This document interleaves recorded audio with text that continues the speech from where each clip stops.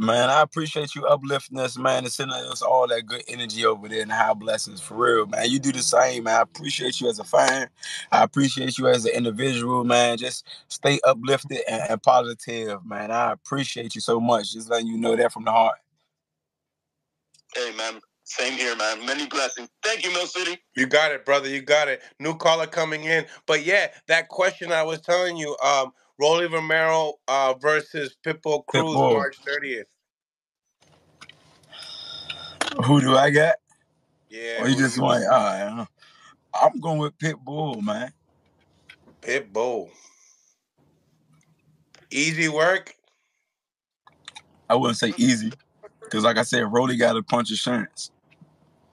Mm. Who have who Mm. have Pitbull really been touched by? He always got a tight shell defense, you know. He keep his hands high. He haven't really been touched, Okay. but I can Okay. say he he's been exposed, you know, by uh, if he's in front of a good boxer. He had some tough times. He had a, a tough time. He won, but he fought this guy named I want to say Gio. Vonnie Gio- Cabrera. Right. The guy I want to say C class fighter.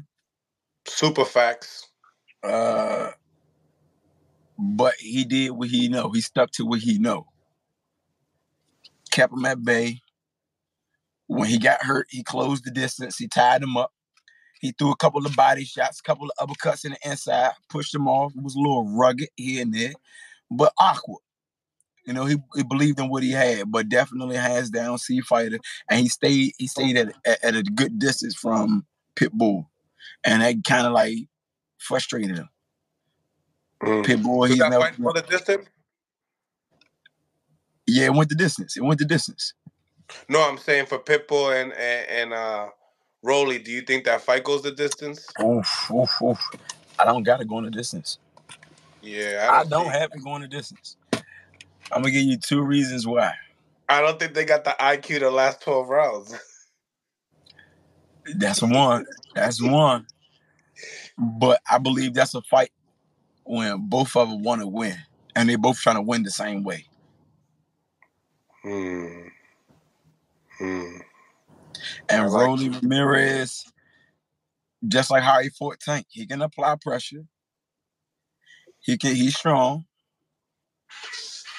but he will run into something.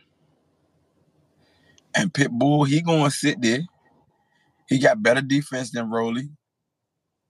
He gonna chop side to side, catch catch, and he gonna fire. He gonna punch in threes, fours probably.